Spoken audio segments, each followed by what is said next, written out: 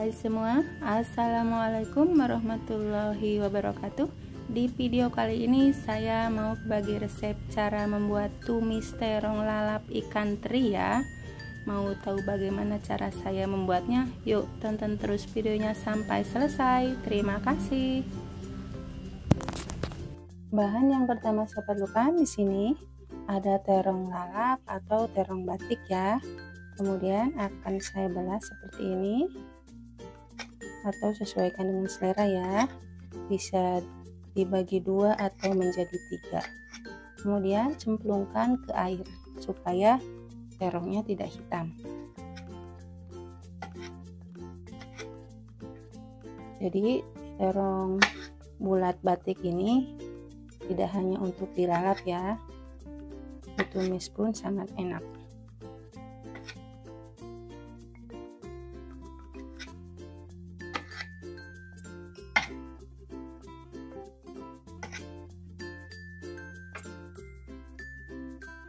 hasilnya seperti ini. Kemudian sekarang akan saya rendam selama 3 menit agar getah terongnya keluar ya. Sampai airnya berubah warna.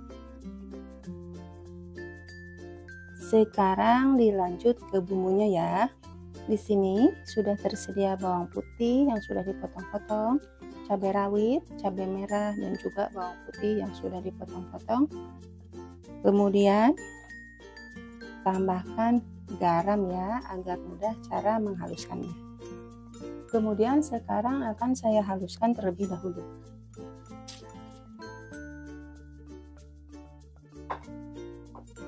Saya di sini menghaluskannya tidak akan halus-halus banget ya cukup seperti ini aja agar nanti saat di sayurnya nampak kelihatan. Yuk kita memasak di sini sudah tersedia minyak panas, kemudian sekarang akan saya goreng terlebih dahulu ikan terinya.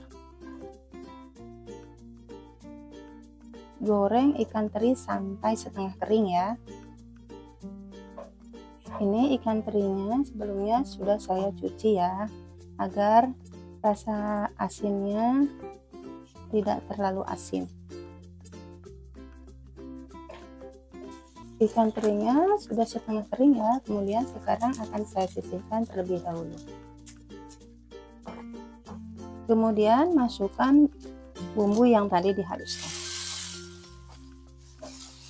Goreng bumbu sampai harum ya.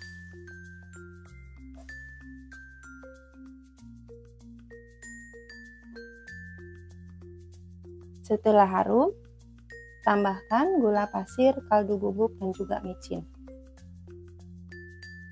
aduk-aduk kembali biar semuanya tercampur ya.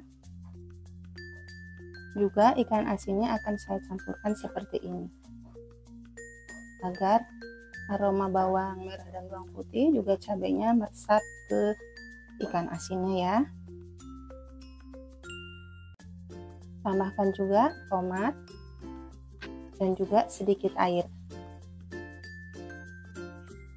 Aduk-aduk kembali agar bumbu-bumbunya larut ya. Setelah bumbu-bumbunya larut kemudian tambahkan terong yang sudah dicuci bersih ya.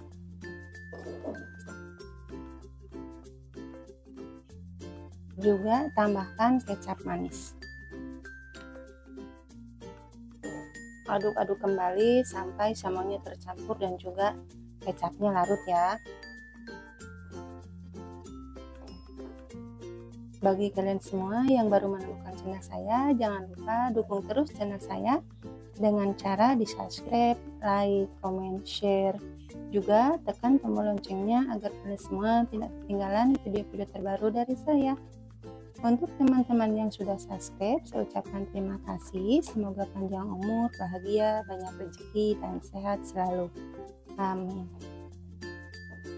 Untuk teman-teman yang belum subscribe, saya tunggu ya, karena subscribe itu gratis. Terima kasih. Untuk resep lebih detail ada di kolom deskripsi ya. Tumis terong lelap ikan teri ini sangat cocok banget ya, ditambah nasi hangat, tambah kerupuk, tambah sambal, wah pokoknya mah enak banget. Jangan lupa icip-icip agar rasanya pas ya. Untuk memasaknya saya tidak akan perlu lama-lama ya agar tekstur terongnya masih ada rasa nyakrek atau krauk-krauknya gitu.